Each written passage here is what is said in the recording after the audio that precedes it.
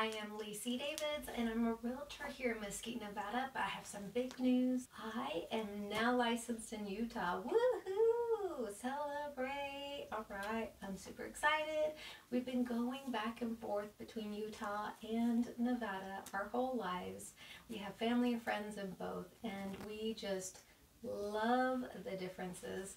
There are, there's so much opportunity in both areas and I cannot wait. This is home to us. I'm so excited to be expanding into Utah. Go on my website. I do show that I am Utah now.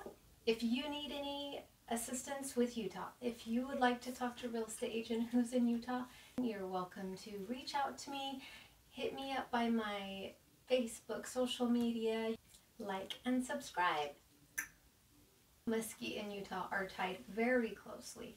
If you have been in town, in St. George or in Mesquite area, you will find these magazines. The View On magazine.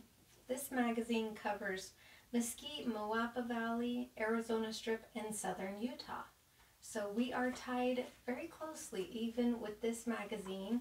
You'll find many businesses, articles, and this is the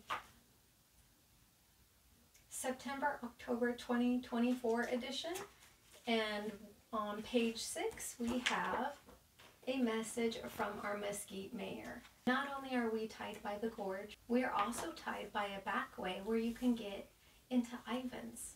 U.S. Highway 91 also known as Old Highway 91, was the first paved interstate highway to be constructed through southern Utah during the 1920s, until the construction of Interstate I 15 through the Virgin Gorge in the 1970s. The Virgin River Gorge, located between St. George, Utah and Beaver Dam, Arizona, created the topography of both Zion National Park and the Virgin River Gorge. Interstate 15 runs through the canyon and crosses the Virgin River several times.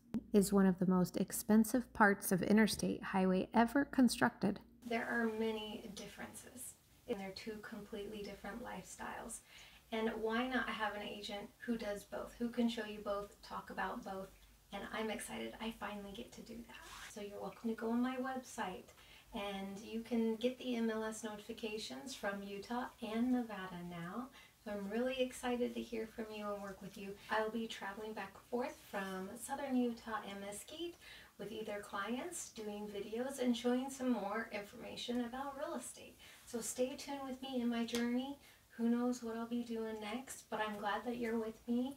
And I look forward to talking with you and meeting with you. If you have any questions about the differences between Southern Utah real estate and Mesquite, I'm your realtor, Lacey Davids, LLC give me a call 435-418-0489. You can also find me on social media. I'd love to hear from you.